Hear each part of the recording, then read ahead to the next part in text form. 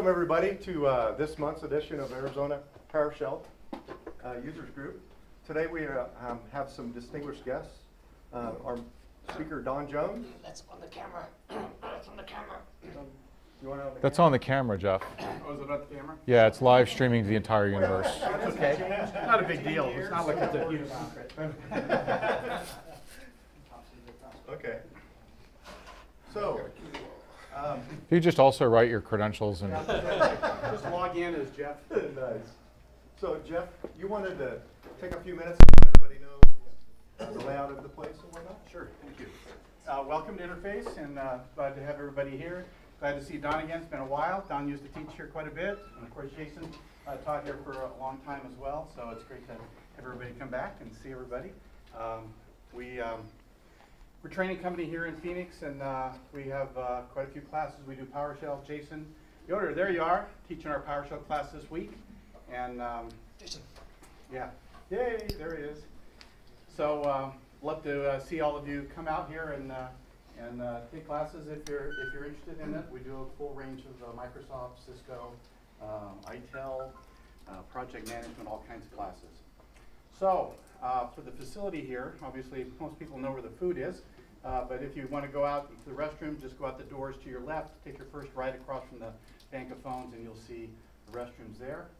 Um, we'll be uh, around if you have any other questions, and I will just let you take it from there. Okay. Thank you. Um, and then I would like to offer a, a huge thanks to Justin, our, our sponsor from TEKsystems. So Justin, if you have just a minute, um, I'll give you the floor for a couple minutes and then we'll turn it over to our, to our speaker. Perfect. Thanks, Tom. Yep. So I'll keep it pretty brief here. Uh, hope you guys are enjoying the food. Um, just poll real quick: pizza or pita jungle for like next time? What's what's the preference? Pita jungle. Yeah. Oh, yeah. All right, Yeah, cool. that was to good. know. Cool, cool. All right. Um, well, I think I've met like most of you guys before. I've been to several of these events with Tom here. So I'm Justin Goldner. I'm a lead recruiter with TEKsystems. So I'll be here with one of my partners probably each time. Make sure that we bring the Pita Jungle for you guys, um, and then I'll also talk about uh, like the market, any current positions we have. So I do all my recruiting on the Microsoft side of things. So Windows Server, um, SQL, anything like that. Um, so I'll talk briefly about positions each meeting. Um, we'll just have one right now, um, uh, kind of a mid-level SQL DBA for one of our customers. So if you guys would like more details, definitely feel free to contact me back there. I'll leave a few of my business cards as well too with Tom, because I have to leave probably around 6:30, 6:45 this afternoon. Um, but uh, that's pretty much it. If you guys have any questions during breaks or or just really want to know more about the market, feel free to reach out to me, um, and I'll see you guys at every meeting. Thank you. Okay, and I guess I need to go sit down and color because we'll turn over the floor to, floor to Mr. Jones here. Thanks, Mr. Jones. I didn't know we had to have breaks. I didn't know we did I either. was gonna thought be it was free form. Okay, well, take a break if the time seems right then. Jason, time me. If I go over 12 hours, let's take a break, Okay. right? Um, thanks for having me out. It's kind of it's there's a lot of you that I've, I've met before. Uh, it's been about a year and a half, two years since I was I was out in Phoenix, uh, so it's kind of good to see uh, familiar faces again. Thanks for coming out. I wanted to uh, just kind of give you a little update tonight. I, I didn't want to do a big tech demo. Um, you know, it's it's so easy with that YouTube thing to just go watch somebody spew off a little tech demo. Um, obviously, it'd be nice if you used Pluralsight or you know came and got some real training from someone instead of using YouTube to run your entire career. But it's your career. I thought instead tonight I would kind of give you some ideas of where to point that career, very specific to the field of PowerShell and desired state configuration, because it's a it's a huge fluxy space. Um, I mean, everybody knows the product cycles are getting shorter, right? You know, Microsoft shipping new product. This this particular technology DSC, they're shipping new product like every 12 hours. It's it's really fast moving, uh, and so I thought I'd just kind of let you know what the state of DSC is.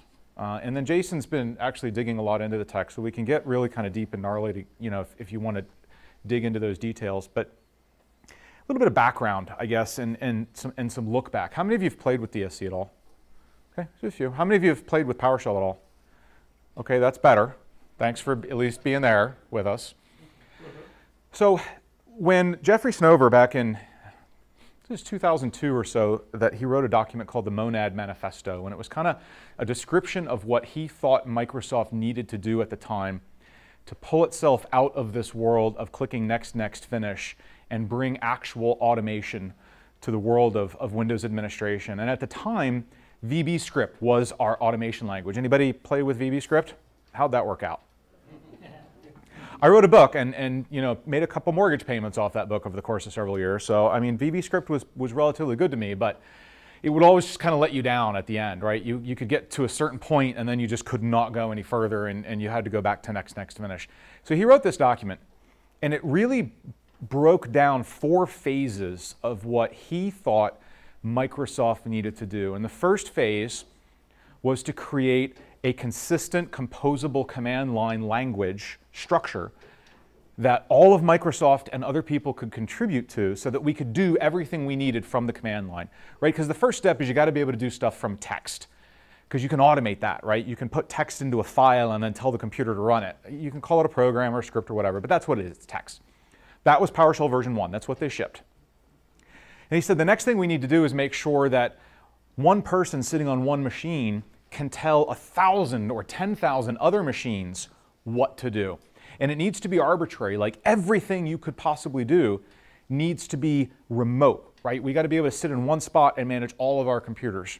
And that was what they shipped with PowerShell version 2, it was PowerShell remote. He said the next thing we need to be able to do is have long running processes that might need to survive a network outage or might need to reboot the computer and they need to remember where they left off and be able to pick it back up and continue. And that's what they sort of kind of shipped as workflow in PowerShell version 3.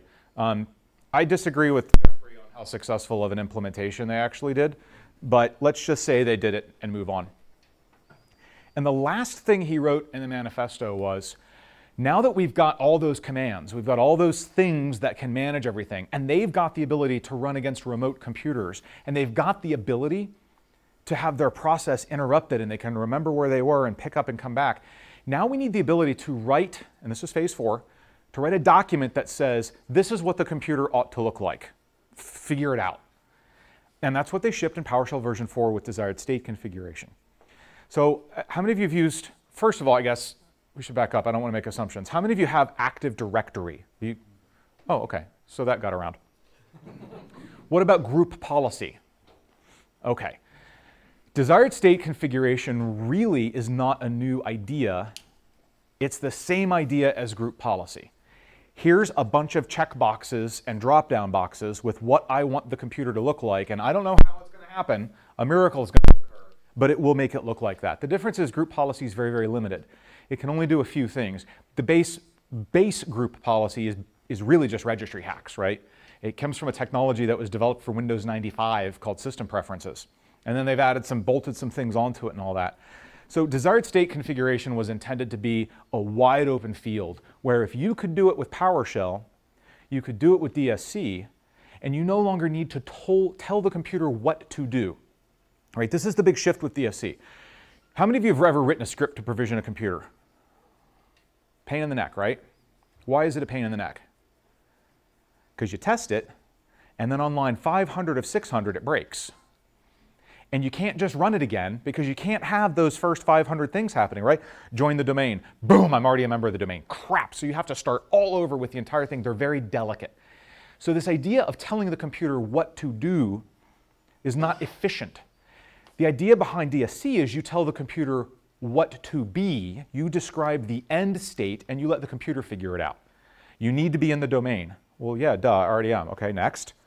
And it just works through that whole process, and that's what DSC does. And honestly, what they shipped with version 4 did that. And it, it did it well. Now, it lacked any kind of tooling whatsoever, right? So your description of what the computer is supposed to look like is just a giant text file. Uh, a fairly hard to read text file at that. It's a MOF file, a managed object format, uh, MOF file. And you could produce that MOF from a special kind of PowerShell script called a configuration script, which doesn't actually need to contain any programming. Um, it, like, if you get yourself a couple extra curly bracket keys on your keyboard, you can knock one out with no programming at all. It's mostly curly brackets. That's what it is. So a bunch of curly brackets come together and you push run and it produces this MOF and the MOF says, computer, you should look like this. And you hand it out to all the computers and the computers configure themselves and they make it happen. And the cool part, and this is really attracted people's attention is the computer every 15 minutes will go reread that text file and say, oh, I'll just make sure I'm still like that. Oh, but someone changed this. I- I'll, I'll fix it. I'll put it back. I'll remediate it automatically. That was a big deal for people. And how many, how many would like that? How many of you would like all of your servers to just always stay the way you want them, just that way, right then? And clients. And clients, sure, sure. We'll talk about the difference there because you really don't want that with your clients unless you hate your users. Well, you probably do hate your users. Never mind. Um, and th- those of you who did not raise your hands, you like a lot of variability and chaos in your servers, right? Because we can achieve that too. Um, so, what Microsoft shipped for version 4 was, was pretty solid. There were some missing pieces. There were some things that became hard to control, right? Mostly because of people. What, what's the one fact we know about people? Go ahead and say it. People suck. People suck.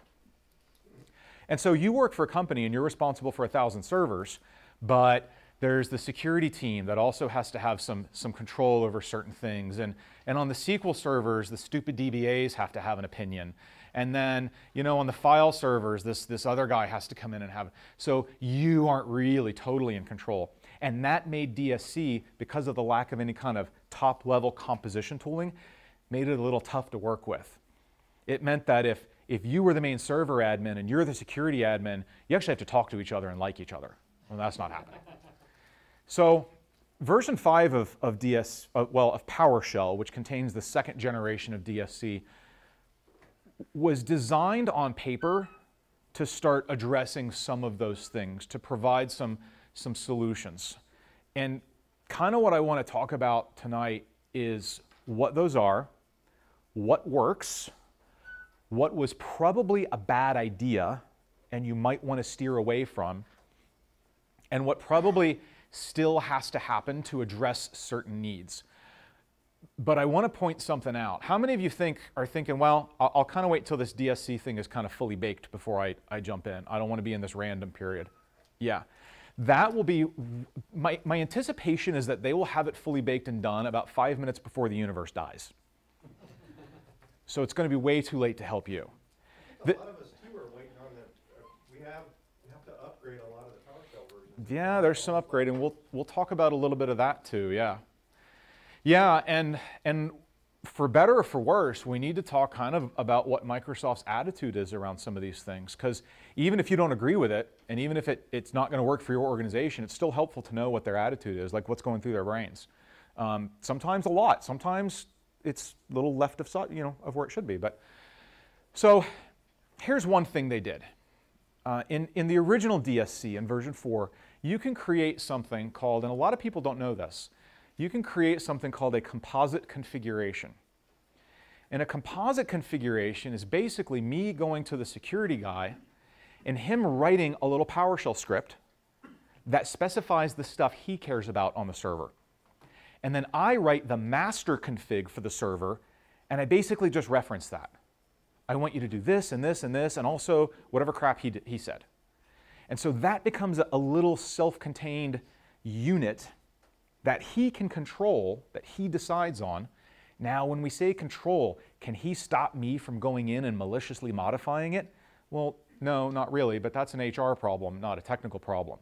Right? If, if you're concerned that your top level trusted administrators are jerks, you should fire them, not try to prevent them from being jerks because the one thing we know about jerks is you can't stop them from being jerks. That's why they're jerks.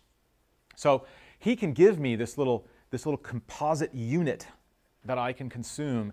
And that's one way that you can start to break these things down into smaller pieces. Those are basically a good idea. Composite configurations, basically a good idea. Little bit of a pain in the ass to troubleshoot, because when that thing runs, it actually produces one ginormous text file that, that the system then has to kind of unwind and process, which is great that it does it all behind the scenes if it works. But, but when it doesn't work, it is really tough to unwind. So those, from a debugging and troubleshooting standpoint, are a little, a little painful. In version 5, what they introduced to address all this is called a partial configuration. Now, the idea here is that you've got a node, right? We're going to use the word node instead of client or server or whatever else, a mobile phone, I don't know. So node, you've got a node, and in most situations, you're going to program that to go to a server to retrieve its configuration. So when you set it up or deploy the image or whatever, you tell it, here's your server, go there, here's your name, go give your name to the server, and it'll hand you your configuration, and then you, you do whatever it says. That's great. Partial configurations means you can tell every node, here's the 37 configs that you should go get. Here's one for security, here's the SQL Server stuff, here's the base server stuff, here's the I don't know whatever. Go get them all. And you, the node, munge them all together to form Voltron, and then run it and figure it out. Now that sounds like a fantastic idea, right? And that's basically what group policy already does. How many group policy objects can a single node be assigned? Infinite if you're patient, right? I mean, there's a processing time you pay for these things, but but group policy kind of has a simple rule. It, it doesn't care about conflicts, right? It just is going to grab the list, and there's a certain order it processes them in, right? What's the order for group policy application? I know you know this, it was on your certification exam. Go ahead and say it. Local site domain OU. Local site domain OU. So it starts really high level and gets more specific. And the idea is it doesn't care about conflicts. If there's something defined in the local one first, well, it'll do that. If there's then something defined in the OU one later, it'll do that too. And it's basically the last guy in wins. It's like if every single person walked up to the front desk and placed a different lunch order for the entire team. I've got the lunch order for the entire team. Well, until she picks up the phone and calls it in, the last one she got is the lunch order she's calling in. And so that's a really simple way of dealing with conflicts. Unfortunately, under DSC, it doesn't work that way because it can't run these partial configurations independently. It has to merge them together and get one result that it has to run. And here's the problem with that. There are specific pieces of data that have to be unique in each little setting you specify. You need to be running this service. You need to have these files. This registry key needs to be set to that value. Every one of those tiny little chunks has to have a unique identifier of sorts. What if you give me a partial config and you give me a partial config and you accidentally use the same unique identifier, which is just a text name? You name yours Fred and you think, that Fred's a great name. You name yours Fred. What happens? It not only blows up, it can't run anything. The entire config fails. And it doesn't fail at a server where you can monitor them all centrally. It fails individually on every single node. It fails as far from you as possible, and it fails in the most awkward to troubleshoot place that is possible. Partial configurations are probably, from a logistic perspective, a terrible idea in the way they're implemented now. What we probably need instead is a smarter server.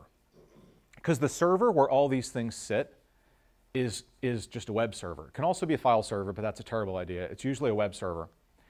What's the neat thing about web servers? You can put code on them. Did you know that you can put code on a web server, dynamic web pages? They just came out in like 1990. Well, right now, and this is going to surprise you. How many of you are aware that there is a pull server as part of DSC? You've at least heard the term. Okay, jiggle your heads. Good. this thing is a feature. The way you install it is you sit down in Windows and you type add dash Windows feature pull server DSC servers. Right? It's baked into the operating system. It's a feature. You could, you could go in and check the checkbox in the server manager add remove feature role. You right? You know what I'm talking about? How many of you knew that it was actually just shipped as a sample? Oh, this is the best part. Yeah, this scared the stuff out of me. Um, because we were up for, for PowerShell Summit and we were talking to some of them. And we're like, you know, we'd, we'd like to have the, the source code for the pull server because we want to make it smarter. And they said, yeah, we're going to do that eventually. I mean, it was, it was always just a sample anyway. What? Well, no, I mean, it was just intended as a reference implementation. You might have mentioned that because we've all built our empires on it. So it was just intended as a sample. Because we said, you know, what would be nice is if we could have these partial configs, you give me one, you give me one, you give me one, you, and the server merges them together and it explodes on the server where I can log that stuff and touch it and get to it all. And then if it doesn't explode, the result gets handed to the client because now the client can be relatively, the node can be relatively dumb, and that's what we like. We don't like smart nodes because that's logic and logic breaks. We don't like moving pieces. We like all the moving pieces to be nice and close to our hearts so we can get our hands on them. And they said, yeah, that's a great idea, but it doesn't do that. It was just a sample. Ah, interesting. So we're kind of dealing with that.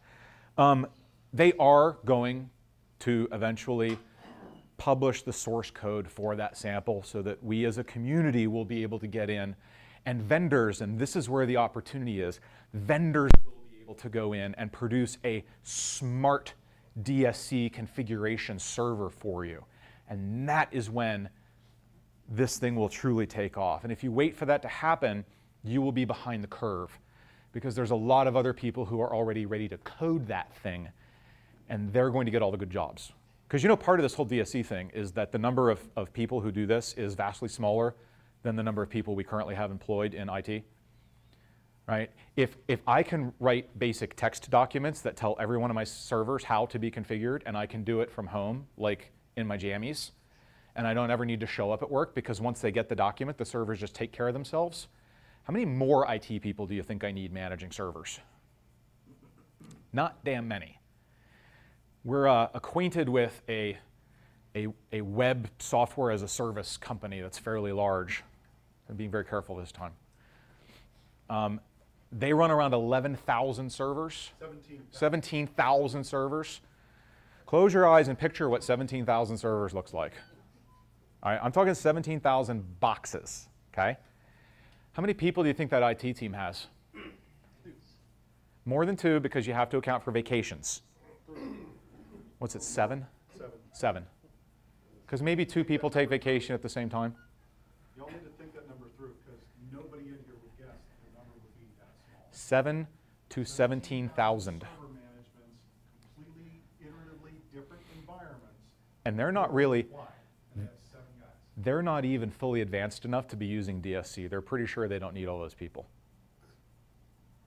So think about that.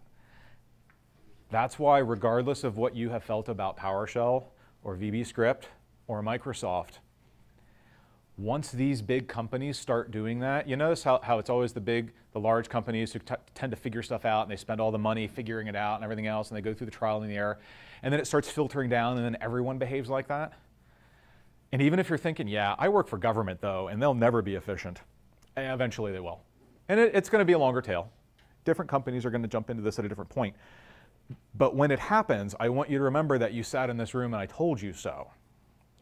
Because your job is going to be this technology, not running around dealing with individual tiny one on one servers. You're going to be dealing with them in bulk, and you're going to be dealing that, with them from this, this front end, policy based type environment. And, and we're going to loop back to that a bit because it's a massively important concept, and I want to try and change your brains around how you think about your servers. But before we do that, let's talk about a couple of other uh, interesting things that Microsoft did to DSC version 5, um, other than they broke it completely for a good bit. Yeah, that happened. Uh, that happened.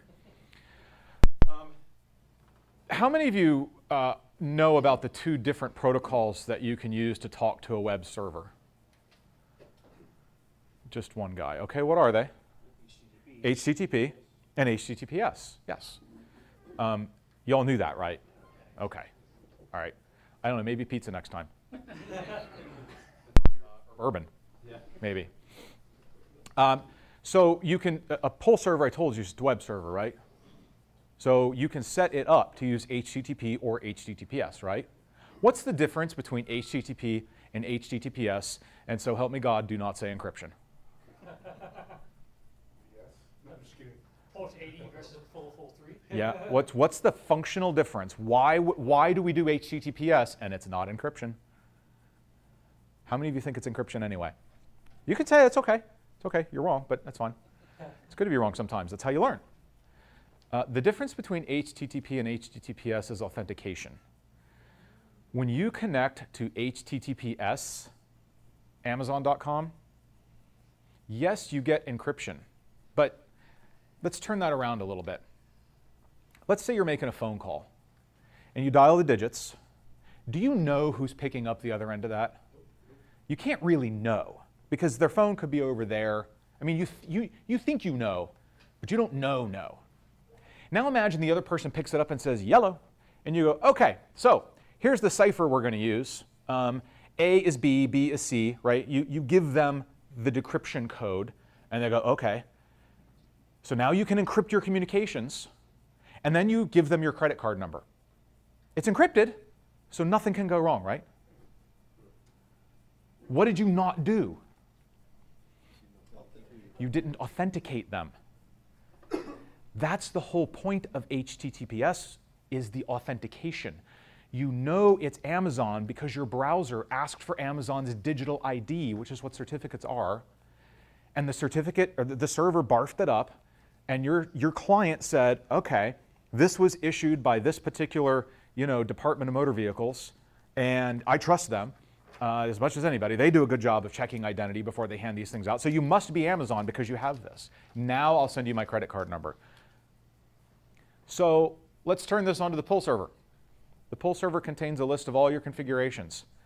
Anything the pull server hands to a node will happen.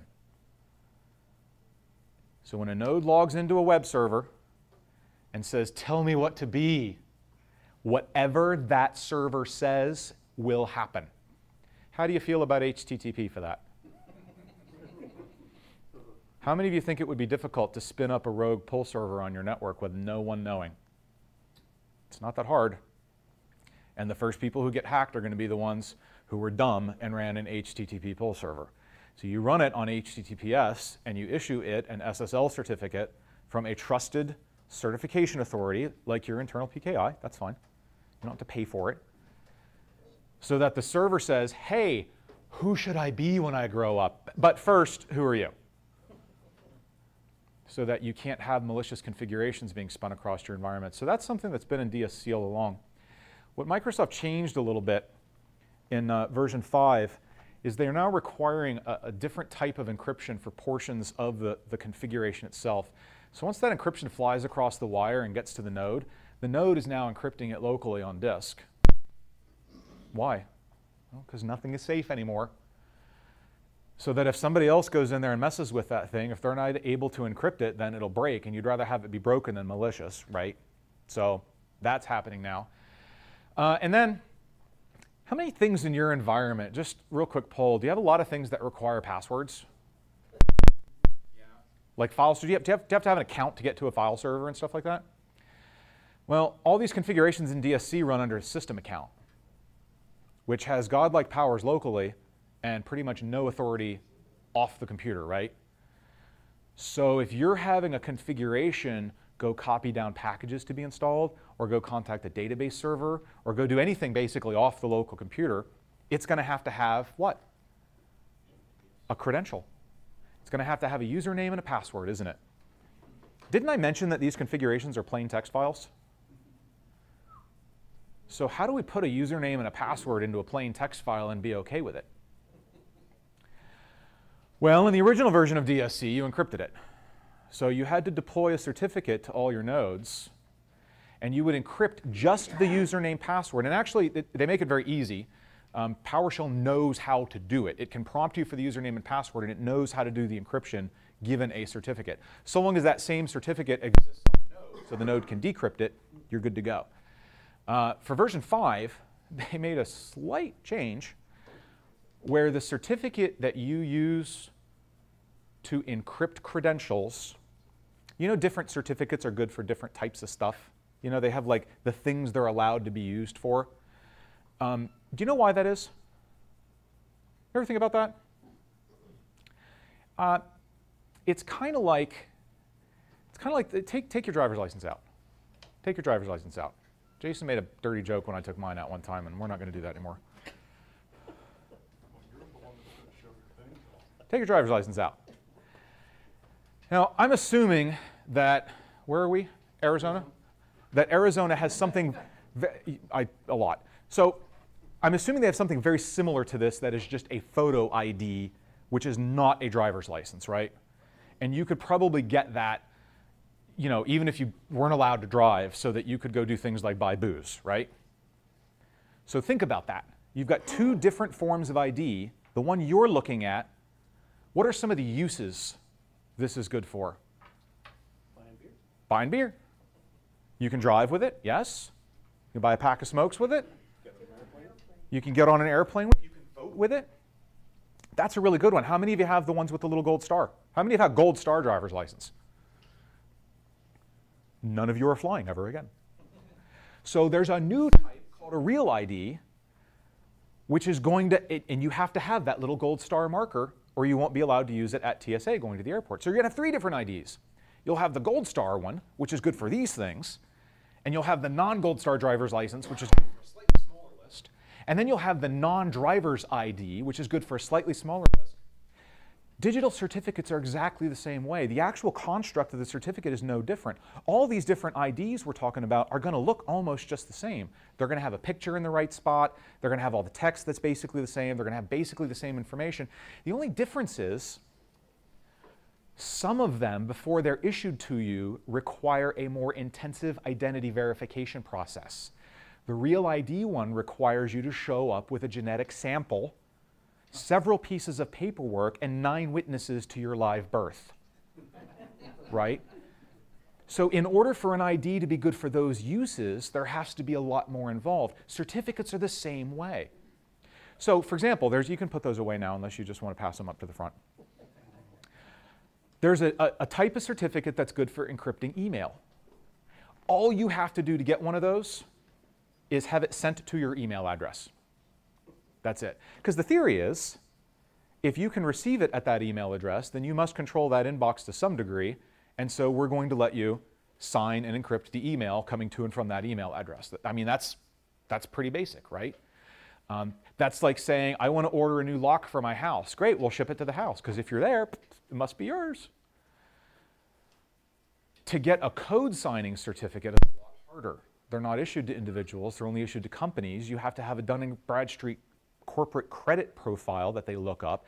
You have to check with your Secretary of State to make sure you actually exist. There's a lot more stuff because the potential for damage is much larger. I am getting somewhere with this. With DSC, now, in order for a certificate to be able to encrypt and decrypt credentials, it has to have a usage called document encryption marked. And they made that change and they didn't tell anybody. And so if you're using DSC4 and you upgrade stuff to DSC5, it'll all break. If you were using encrypted credentials, which you probably were. Uh, and do you know how to generate a certificate that has document encryption enabled? Neither does anyone else. Jason figured it out, and you can do it with a, a Active Directory Certificate Services CA, but it's not set up to do it by default. You have to go in and hack it together to make it do it. So there's, there's, there's two parts of this, and, and one is the technical piece. And if you're waiting for me to go, but they made it all better, they haven't. That's how it is. You have to hack it together. And they're not going to because it's considered under, this is normal PKI knowledge. In other words. Yeah, you're supposed to just know this you're already. supposed to already know how to do this. Yeah. How many of you how how many of you don't know crap about PKI? And be honest, it's okay. The camera's not pointed at you, it's pointed at me, and I raised my hand. Yeah. Um, I would say before you learn anything else about IT, you need to take a class on PKI. Because if you're thinking, well, my company will never use that, it already is. You just don't know it because it's happening under the hood because Windows is doing that garbage all the time. You just have no control over it. It's kind of like IPv6, which I know you think you shut off, but mm, it's still on you're just not controlling it. And so when something breaks, you'll have no idea why because you don't even know it's occurring. So you need to get yourself a class on Active Directory certificate services. You all said you had Active Directory. That means you can have ADCS and it's free. So there's literally no financial reason not to have PKI in your organization. And if you're thinking, well, we just don't have the time to spin it up, it takes 10 minutes of planning and about six minutes of pushing a button. It's not that hard. You just need to learn what it's doing because this thing is pervasive through the entire infrastructure already. Already happened. Um, do you guys do a class on PKI here? See, he's nodding his head yes. They do a class on PKI. Done. So that's first, PKI. Make sure you're doing that. Here's the bigger moral, though, of, of what this version 5 update is on, because we've talked about a couple things that, that they kind of they kind of kicked the can on a little bit, a little sideways. Um, you know, we talked about this whole document encryption thing being snuck in on everybody and, and kind of breaking all these pilot and production engagements that people had going. Uh, we talked about the partial configs and the way that works kind of being a little suboptimal if you want a, a long, happy life. So why did they do this? Well, this takes us kind of back to the original point of if you're waiting for DSC to be baked, it's never going to happen. The team is changing this thing, and I am not joking, almost on a daily basis, and that is the new normal. And I will paraphrase Jeffrey Snover. If you are thinking to yourself, I did not sign up for a field where shit is changing every day, then you should look into lumber because we have not had a new tree in a long time. IT has always been about change, and if you have managed to insulate yourself from that, or more importantly, your coworkers, because you're here, so you clearly care about your career, if your coworkers have managed to insulate themselves from change, they're going to die. They will not survive. Because all you can do at this point is ignore everything that is happening until you retire and hope to God you can last long enough. Because it is going to change every day and you're going to have to find a way to keep up for it. Now, that means how many of you would consider yourselves to be generalists? Like you do some AD, some file servers, a little bit of that, a little bit of this. Yeah, you're probably specialize a little bit. Uh, and that means if you work for an organization where you know you are the IT department, you're going to want to look into outsourcing some stuff so you don't have to know about it anymore. Like I would crawl off of email as fast as possible so that I could forget everything I've ever known about Exchange. In fact, I just did that Saturday night with a bottle of bourbon. I brain dumped the entire thing. There's something about availability groups still left, but I'm not sure if that goes or SQL, so I'm just leaving it alone. Why do I say what? Availability groups? Um, because Microsoft is never going to ship another version of Exchange. They're done. They're not going to do on-prem. They'll continue to do a certain level of support for the companies who have it right now, but they would desperately like you to knock it off. And I would say I would get off of email for the same reason that I got off generating my own power and hosting my own DNS. It's not worth the money. So what, what are companies gonna do they are going to have it hosted. And they will either have it hosted by Office 365 if they're the type of company that can engage in that type of thing, or if they work for the federal government, they'll have it hosted by the federal government's shiny brand new private government only version of O365 that they convinced Microsoft to stand up in exchange for a bunch of money. Or they'll go to some specialty hoster that deals with their particular, you know, segment of the universe um, but it's just not worth the money to host your own email anymore. And there's too many other things. So here's the deal. This is kind of a business maxim that, that IT has never really had forced on us. Um, if you, as an IT person, are in charge of the care and feeding of a commodity, stop it. If what you're doing is not unique and crucial to your business, and it has to be done your business's way, and it makes you a specialist for your company, then you shouldn't be doing it. We don't generate power because it's the same, it's a commodity. We don't host DNS because it's the same. Email is the same for everybody. I get that we've got some different policies and you know, you have to have your stuff stored in Ireland and you have to have your stuff stored in the Capitol building or whatever else. Those aren't differences. Those are variations on a theme and those can be met by other people who care but we don't have the time anymore. You, you ask me, how do you keep up with all this stuff? I specialize. I don't worry about who hosts my email. I don't have time to keep up with 50 different freaking Microsoft server products, let alone all the, the Linux crap that I'm having dumped on me nowadays. I've got to pick my battles, and my battles have been the things that are unique and special to my environment, the things that are value added to my environment. And that actually creates kind of a nice segue into the next bit. How many of you have a pet? How many of you have a cow? So there's, there's this DevOps thing that DSC is a big part of. And the idea behind DevOps is real, real simple. How many of you remember the, the, the fuss about virtual desktop infrastructure and then how suddenly no one cared? Yeah. Because there has never been a user ever walk into a business ever and say, I want a desktop. They want apps. They want applications. They want code that does things for them. This, if nothing else, taught everyone on the planet the word app. And now they get that. Apps are what they want. Half the people can't even tell you what version of whatever their phone is running, but they know what apps they have, right? They have Snapchat, they have Angry Bird. That's it. they care about apps. Creating an app, coding, how many of you code? How many of you know coders or have seen one at a distance? It is a uniquely human endeavor. We can create a lot of tools to make it easier for coders to be productive, but we cannot yet create a machine that creates new code by itself. This machine creates code. It is an artistic endeavor. We cannot change what coding is. So somewhere between the coder, Jason will be the coder, because that's ironic more than you can possibly imagine. Jason will be the coder, and what's your name? Will be the user. In an ideal world, they're standing right next to each other, and Jason is just beaming the code directly into Tom's brain using ESPN, right?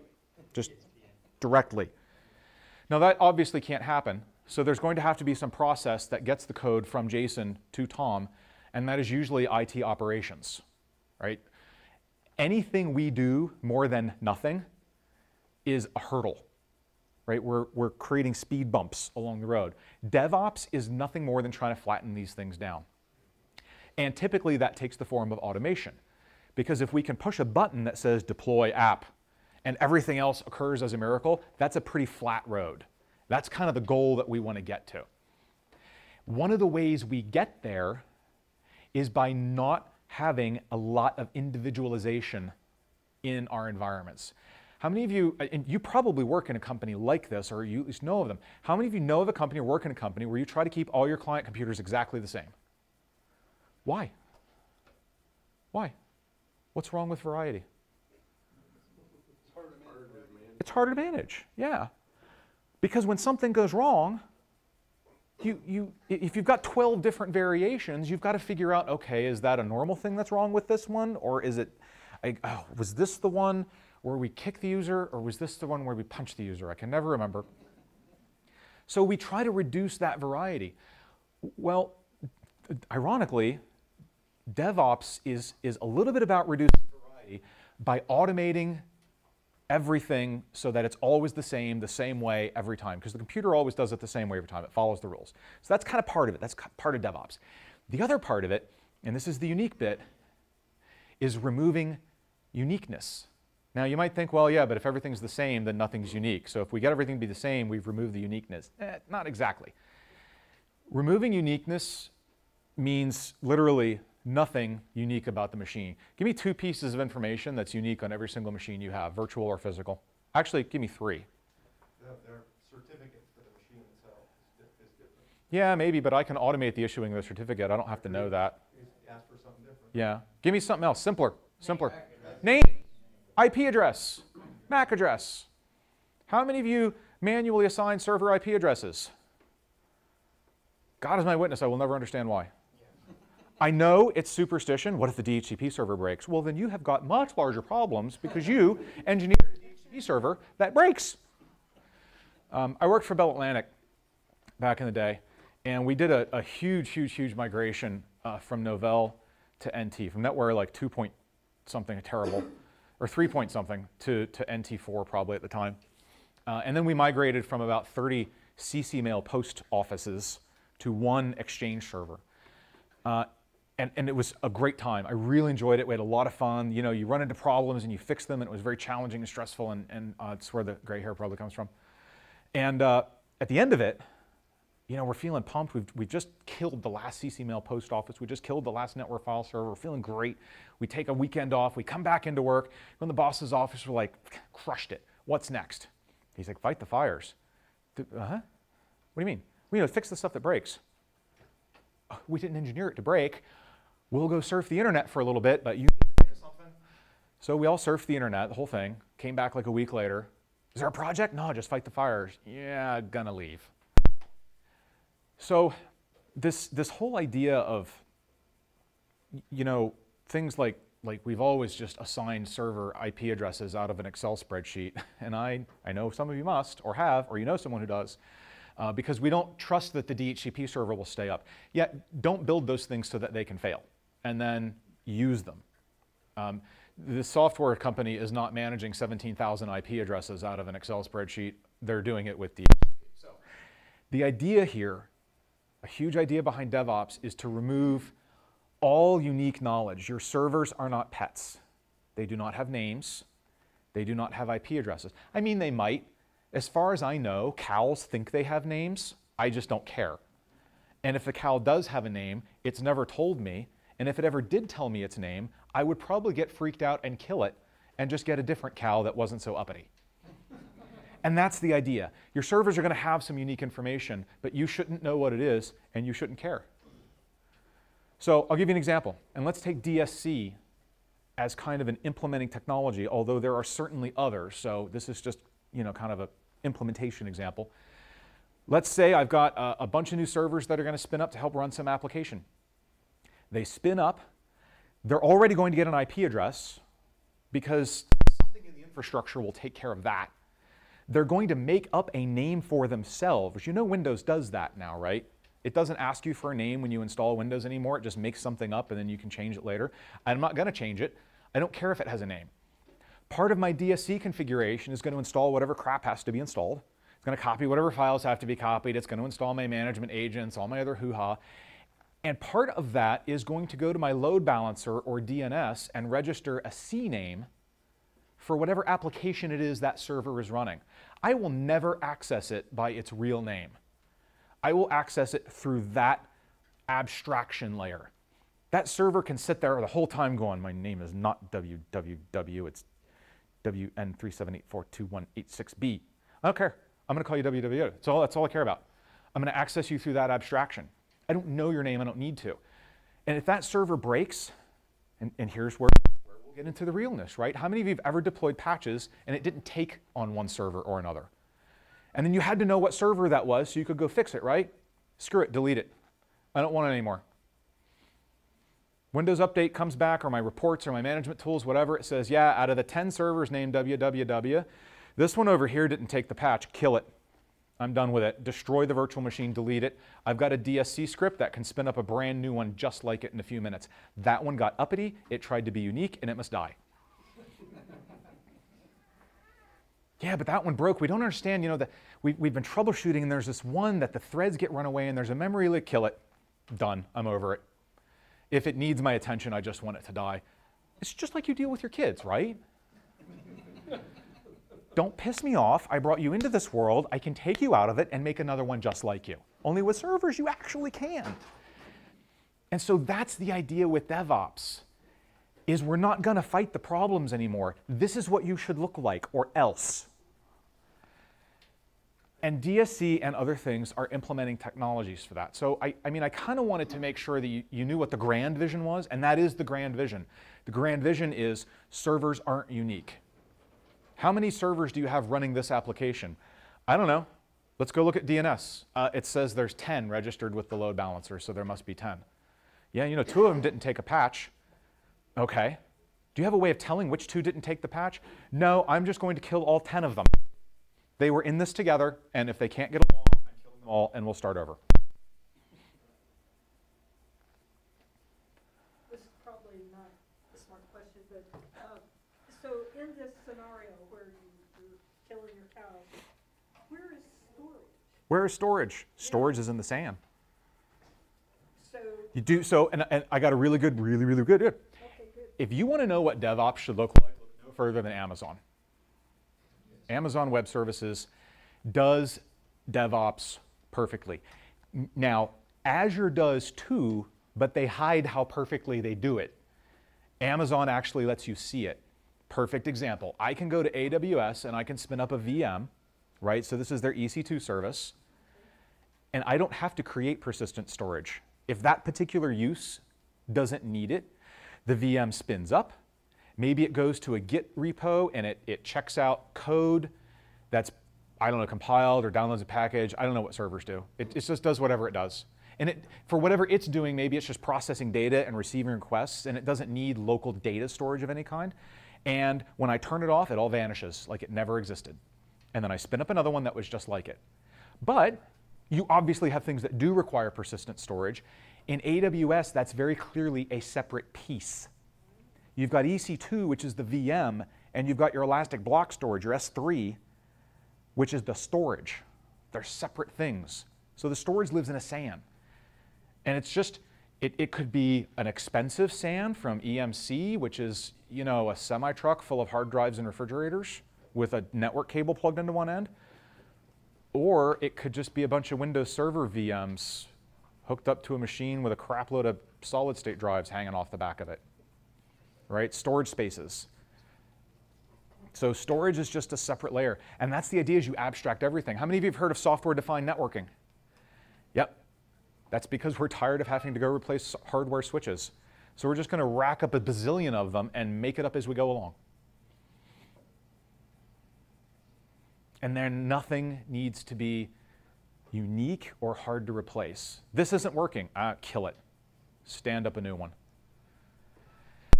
Um, there's some, some fun numbers, and I, I, don't have them all in my head. Um, you can, oh, I know. Do you guys know I, I, do a little IT ops talk show every month for Pluralsight? It just goes up on our YouTube page. If you go to youtube.com slash Pluralsight, it's up there. The April episode, let's go with the April episode. I think if you look at the April episode, um, maybe, maybe March, March or April, I reposted a keynote, the audio from a keynote that I had done for TechMentor. And there's a slide on there that talks about some really great numbers. How many of you are thinking to yourself right now, just as, as you're kind of absorbing this idea of servers are cattle's not pets? That's fantastic, Don, but it sounds like you're suggesting a situation where I have an abundant amount of room to fail epically. How many of you work in an environment that is very accepting of IT failure? yeah. How many of you avoid failure at all costs? Yeah. Why? Because there's always that client that wants to rip your. Why is it expensive? Takes a long time. Yeah. That's really the key to it we don't change anything because change equals failure, and failure equals long recovery time, and ultimately it's the long recovery time that pisses people off, right? Everybody can survive email being down for five seconds. You'd never know. I mean, uh, oh, there it went. Right? It's when it's down for five days that people start to get vexed and, and agitated at you. So this is a speed thing if I could destroy the mail front end server that was malfunctioning and have a new one up and running in 30 seconds, would failure be such a scary thing? No. It's all about speed. And that's what these DevOps technologies are trying to do is create speed and consistency. We know this image works.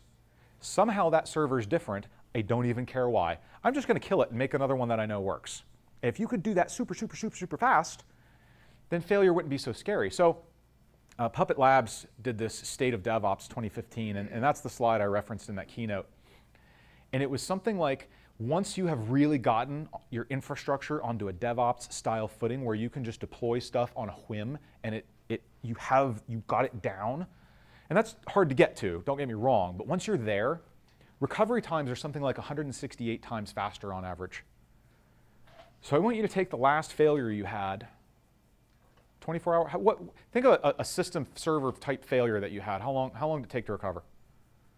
Recently. Just say, make up numbers. I don't even care. Six hours. Divide by 168. It's not even a number anymore, right? And you're thinking, well, how can that possibly be true? Because you've got a monitoring system that realized that that thing failed and it kicked off a runbook that spun up a new one and then killed the first one and then it emailed you and said, I got it. Because the email took longer to get to you than it took it to do all that. That's where that automation kicks in. Uh, and in fact, those organizations tend to get something like 60 times fewer failures to begin with. So I want you to think about how many IT failures you had in the past year and divide by 60 and ask if your boss would be okay with that. Because most of us, it's like a sub-zero number, right? We already run pretty tight ship for the most part. But those same companies had 60 times fewer failures, 168 times faster recoveries, and more than 40 times more deployments. They had a massive amount of change going on with fewer failures because they're automating it and they're practicing consistency. And the same thing that got tested and the same thing that got piloted and the same thing that got approved is the same thing that gets deployed. And that's how you know it's going. So they're pushing out agility rapidly, rapid, rapid, rapid, rapid change. And they're only changing one or two small things at a time. So if it breaks in test, well, you know what changed. It was only those two things. It was one of those. Fix it and then try again before you go production. But having those pipelines built, and we've got all the technology, they all exist right now. You know why more of us aren't using this right now, today, already? It's actually not a cultural thing. A lot of people think, ah, my company would never go for it. They, they would if you could prove you could do it safely and consistency, consistently. Do you know why most of us don't have those pipelines in place right now? Because you can't buy it in a box. And most of what we want to buy comes in shrink wrap, and we push a button and we run a wizard and it's set up and we, we run with it. This DevOps stuff is Legos, and you have to bring your own glue and you have to piece it together the way it's going to work for you. And the people who can do that are the ones who have completely safe jobs and who are making really good money and got a lot of paid time off. And that is where this whole industry is going to run because it's, it's already started. So you, you're in a good space because the Microsoft piece of IT is like the last one to catch up to this, and we're just right on the very beginning edge of it. So you're a good spot to start mastering some of these technologies. PowerShell is the glue in the Microsoft world. DSC is one of the major implementing pieces. And if you're thinking, yeah, I'm going to wait until they get some tooling and a nice, nice management UI and a good, good kind of wizard to set this, yeah, it's, it's probably not happening. Because um, I know for a fact they have no plans to build one. They're going to let you build your own tools. You glue it together, they'll give you the blocks. But if you can do that, you've got an awesome career. And it's fun. I mean, the stuff, it's when you're in a company where they do this, and they're like, oh, yeah, this is, uh, we got two tickets here. Developers got new code. Looks like it ran through test clean and everything else. So, uh, yeah, we're in the maintenance window. Three, two, one, deploy. Yeah, it's done now. Okay, I'm going home. It's amazing to watch. It's, it's the coolest thing in the world because it's what we all dream of. And they have fewer failures, faster recoveries, and massive amounts more change. So it's like everything we've always wanted and always been told we can't have. Questions? I'm kind of an example kind of guy. Yeah. So this desired state configuration, it's blew my mind when he started talking about it. Yeah. So, and that was a couple months ago. Yeah. Um, and Did you get your mind back together? Or? Well, yeah. Little- kinda, yeah. I'm like, gosh, how could we? How can you do this? Yeah. And I, and I think of well, you know, exchange is going away. You're right. We're going to Office 365. Yeah. Once you said that, I'm like, oh yeah, duh. but I'm just thinking file servers. I'm Yeah. thinking right now, Exchange servers. Yeah. How could you have a desired state configuration for those? Just because that's what I not primarily deal with, but I, I deal with on Well, a day-to-day okay. basis. And I'm sitting there going. No, I totally got you. file, there's file servers, there's file structures, there's Yeah. configuration set like this. If that just goes, oh, it's acting up, boom, blow it away, comes Yeah, yeah, yeah. So Where is all the let- data? Where's- let's- I mean, So the data, how? this we talked about this. The data and the server are separate, right?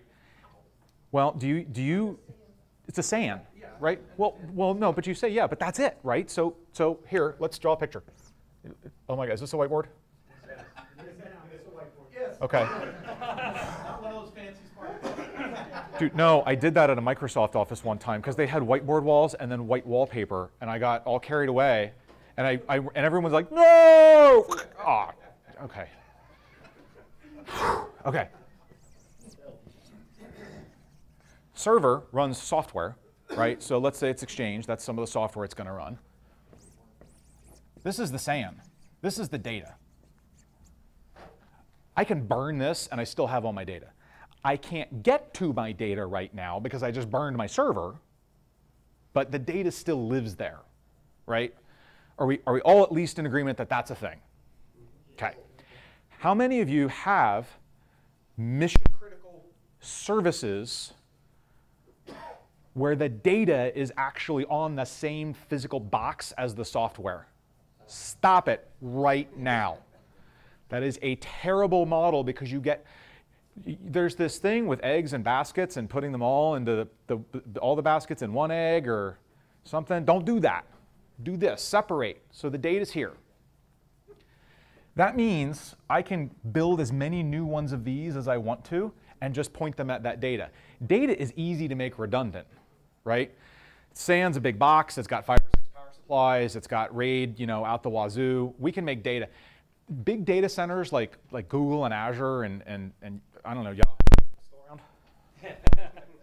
um, they don't even replace failed drives. They do it like once a month on a Monday. They send an intern in to look for red lights, and he just pops them in and out of a cart because they've got so much data redundancy. They don't worry about it. So, you, I mean, does that kind of at least do the high level? I could lose this all day long, and so long as I could rebuild it and point it at that, I'm good to go. So now this is an Exchange server. Well, let's say I wanted to build a brand new one of these let's say I, have got Windows, just the basic naked Windows on there, and I'm using a WIM, right, a Windows image, which is serviceable. So it's already pre-patched with all the patches my company has approved. So every time I deploy a new OS, it's just there. I don't have to let it go through Windows Update 78 times. So I need to install Exchange. All right. So I would tell in my DSC document, you are an Exchange server that will trigger all the underlying magic and it will install Exchange. And now I need to tell it, here's where your storage is located. It's over there, so it'll hook that up. And then whatever other configure bits about it that I need to specify. You know, you, you have this many endpoints or, I, I don't know, I've, bourbon, right?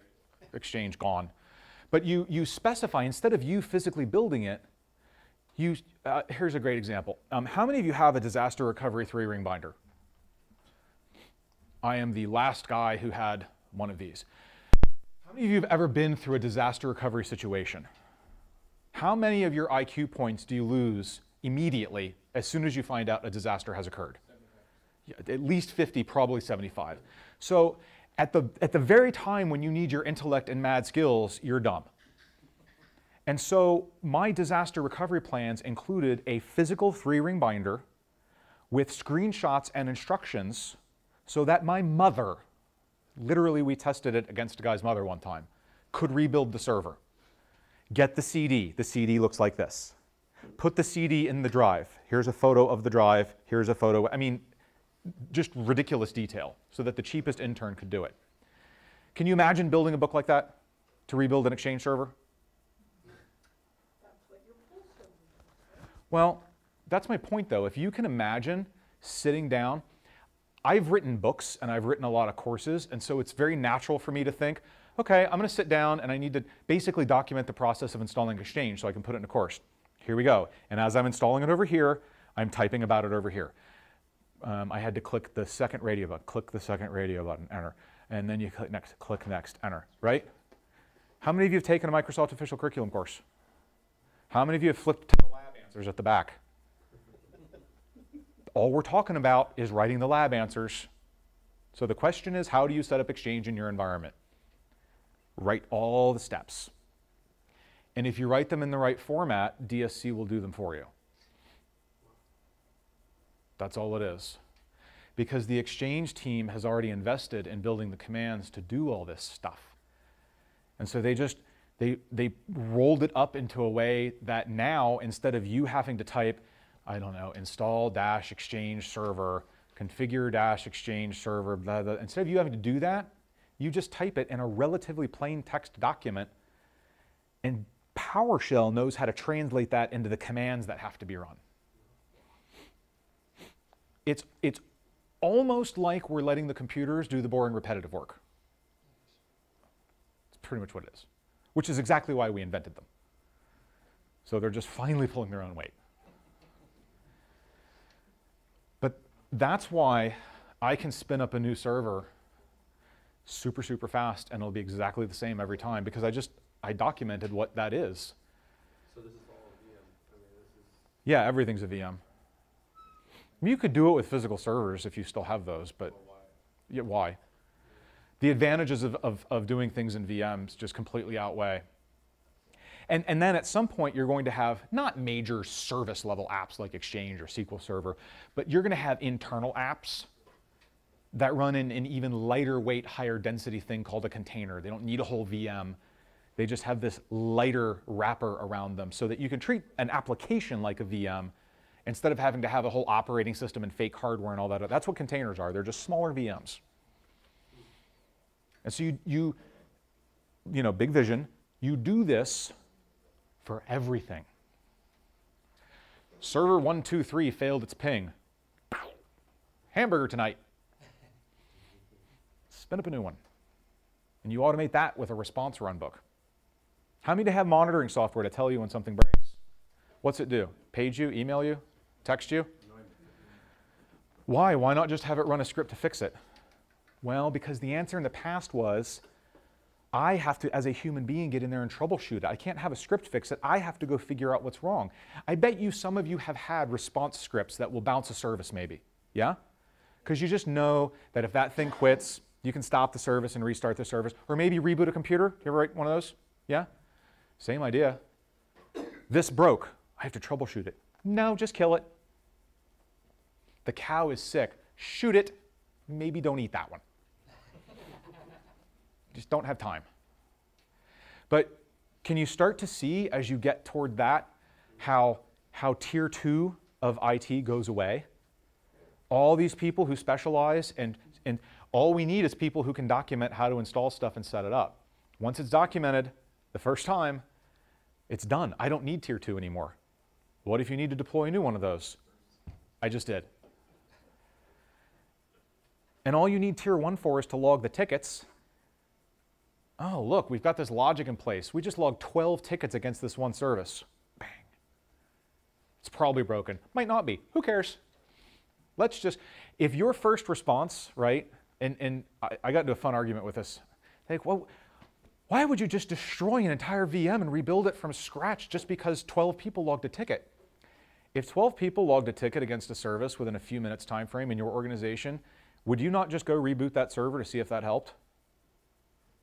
How often do you just go, yeah, I'll have to reboot the server, right? Mine's no different, it's just better. I not, don't reboot it, destroy it completely and make a new one. That'll definitely have an effect.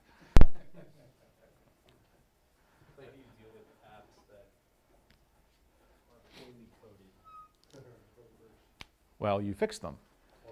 Because, so are we talking internal app or vendor app? Vendor app Vendor app. that, you know, requires special customization. Sure, sure, yeah. UI or GUI. Um, two answers. First, IT needs to, to better guide their business to not get into those situations.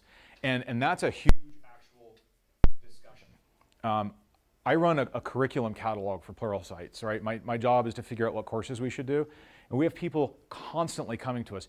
We need you to offer training on insert name of obscure product that I have never heard of and can barely even figure out how to Google, right? Well, you should not have bought that. Well, but our entire company runs on it. That was a terrible decision. So we have to do a better job. So that's, that's kind of the proactive side of it. The reactive side, often, um, if it's just poor code, whatever you're doing to mitigate it now, you automate. Right? How many, how many crap ass websites are out there? How many of you run IIS or at least familiar with IIS administration? Even, even so, you know how you can program IIS to automatically recycle worker processes every so many minutes? Why do you think that feature exists? Bad code, crappy code. So same thing, you just automate it. So, I, here's the one thing I I wanted to ask. What's the best approach if you're a guy that's supporting developers and you have to depend on IT guys that are standing up everything to try to get them to realize that they need to start automating? What's the best approach to do something like that? Pick a small project, Okay, pick something that's, that's going to be politically expeditious all right. and solve that problem. Just do it.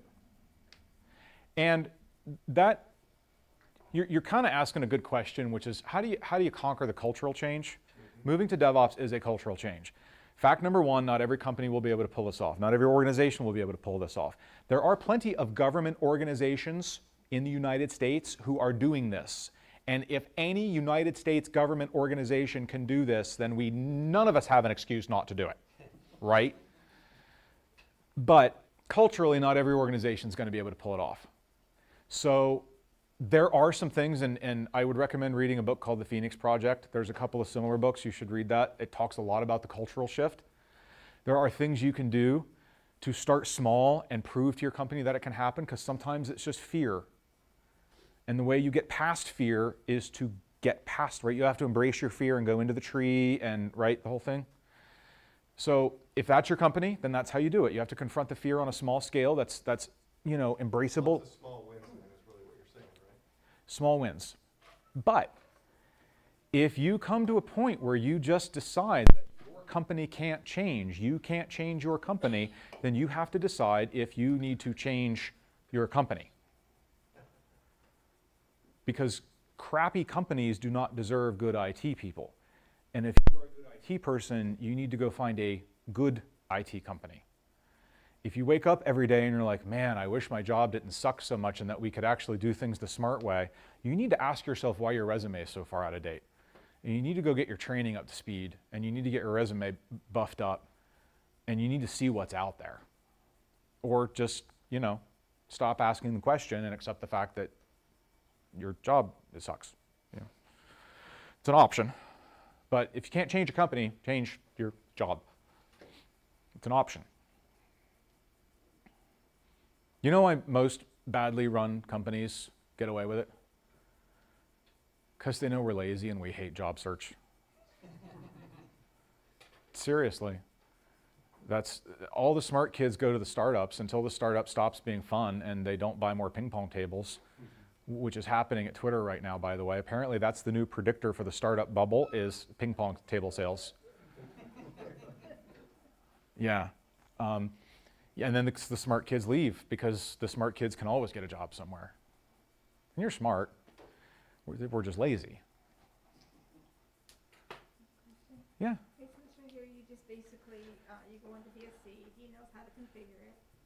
And, um, so then you can just tell it, you know, generate the IPs, generate all that, and that's, that's Server two thousand four, I'm assuming. Build you. Yeah, this, this, this stuff works back to 2008 R2 to a point. Um, but 2012 and 2012 R2 and forward are, are kind of your, yeah. And you don't necessarily tell it to generate an IP. It'll do that by itself. Right? Windows comes out of the box ready to go ask for an IP address. Just let it do it. Okay, so when I add the feature on my Server two thousand twelve on this to play with it, what's my gotcha? I mean, is there anything I should probably look for first? What do you What mean? I don't know. Well, everything. Um, what is it that you don't know? You won't know until you play with it. I know. Yeah, so, so let, me, let me suggest this. If you're, you're talking about how do I spin this up like a test VM and just play with it, why are you so afraid of failure? Let it break. Let it blow up into a thousand million pieces. Who's it going to hurt? It doesn't matter what the gotchas are. Go find them. Because it doesn't matter what he teaches you or what I teach you. Do you have a kid? Do you ever tell your kids not to touch the hot pot on the stove? When they were younger? Did they? Yeah. Why? Because we're monkeys, and until we screw it up ourselves, we don't believe it. So you're going to have to dive in and just hack your way through it, and then you will own it. But mastery over IT can't be granted. Educational materials can help you shortcut some of the experience process, but at the end of the day, until you just get in and hack through it, you're not going to know it. You won't own it. So spin it up, screw it up, ask for help. You know PowerShell.org has Q&A forums that are completely free, and you know our average response time is something like eight minutes. So when I really get stuck, I, uh, it'll take eight minutes. Ask for help. Try and fix it. But yeah, if you get really stuck, say, look, here's where I'm at. I, I tried this. This is the error message. What the hell? And, and somebody will come back and say, have you tried this? And then you'll try that, but then you will know that. But you've got to be willing to jump in and kick it. So if you have custom apps on this, let's say you get it up and going, right? Yeah. I'm loving it. So now I got it, I got all these custom apps that are I Yeah. Custom apps. Yay, love them. Okay, yeah, so, we're not gonna go there. Okay, so, um, so, I, this just does backups, right, over to the SAN, like how, is that all in the configuration, often give me backups? Because if it blows, I just wanna, You may have to write some code okay, to tell DSC what to do with your custom applications. But the way this thing is designed, those are very, very simple to do. Do you guys still run the tool making class here? Yeah, they run a class that teaches you how to basically do everything you need. To, coding it for DSC literally means changing one word in a script that is already working perfectly. So you can you can code this thing up and you can run it in a test environment and oh look when I, I run the command it copies the backups where they're supposed to be and everything else is working perfectly. Change one thing and DSC now knows how to operate. So yeah, for custom in-house stuff, you're gonna have to do some custom in-house code. But that's what makes us the smart kids. right? So I think uh, Will Anderson did some good stuff on DSC, as I recall. He did like a five-part series. If there's a good thing- ton of people. Um, Dave Wyatt, Will Anderson, Steve Murawski, um, uh, uh, Jason Helmick. Love you, man. Uh, there's a lot of people doing a lot of work to help help people find the gotchas and understand what the pieces are. And they're, they're small, consu- they're blogs. They're small consumable pieces. I am not the type of person to go out, and I don't like to teach this way either and if you've read my books, you'll know this. I don't like to go out and read a bunch of concepts and then try to apply them. I like to kind of, okay, I've read five pages. I think I know enough to get in trouble now, and then go nail at it for a while, and then go back and read a little bit, and then go back and play with it, because that's how I, I own it. Me. What else? Yes. So, No. got your servers and one of them acts up, so you burn it down. Could you send it off to like a testing area? Oh, oh, troubleshooting. Sure, if you're interested. Um, I mean, you've got a hypervisor, right? So yeah, let's say the server fails. Could you just kind of preserve that VHD off somewhere else so that you can then spin that up at your leisure and fuss with it and see what went wrong because you're interested? Obviously. And, and, and, and, and I'm gonna tell them the y- short story. use your words. There, there, there may be good times for that.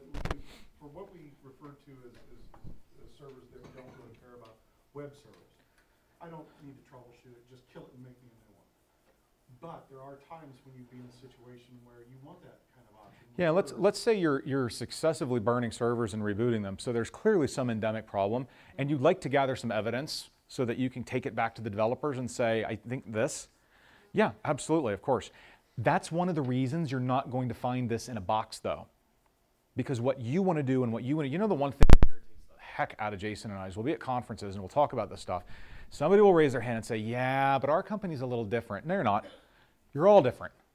You all do things a little differently. And that's why you're going to have to build your own tools so that you can have what you need, not what Microsoft or someone else thinks you need. How many of you have ever gotten a tool in the box that worked exactly the way you need it to? None of you ever.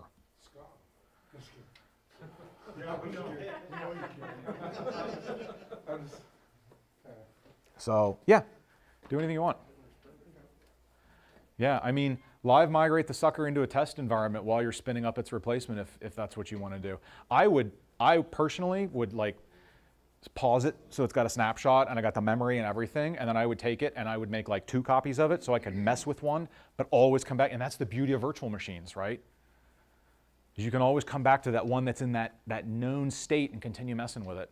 Or I, I have at least one company that I talk to. Their process for this is when the thing fails, they ship a copy of the VHD off to their developers. Say, it crashed again, y'all figure it out. well, we didn't know exactly what it looked like when it crashed. It looks just like that. Cool.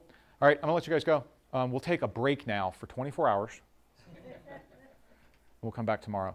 Um, thanks for being here. Please, please think about these things as, as what you should be focusing on. Go home tonight and internalize some of this and wake up in the morning And over your coffee, you get to work first thing, make a list of what you know you don't know. Make a list of, of everything that you think you heard me say that you're like, I have no idea what that is. That's your learning list. Go figure those things out. Those will lead to other things that you don't know. You should be learning something every single day. In fact, we're getting ready to, to launch a new marketing campaign that I, I think says exactly what everybody in our industry should be doing. What can you do today to make sure you are smarter than yesterday? And make that your list. And then pursue it. Take a class, read a blog, just start working down that checklist until you know all those things, and you will never be done. And that's kind of the fun part about our industry, or uh, lumber. so, thanks, guys. Thank So, um, we have this, uh, facility till about eight o'clock tonight. So, feel free to stick around and trade ideas or scripts or whatever, uh, that you guys need. That's what this is really about, is about getting everybody together so they can meet somebody from some other company that's doing the same thing as them, that maybe they're doing it differently, better, or has a different look on how to do something. So, I'd encourage you to to meet each other and and uh, trade ideas and scripts. And thanks so much, uh, Don, for showing up and coming um, down here to Arizona to see us. Yeah, you guys can come to Vegas next time. All right.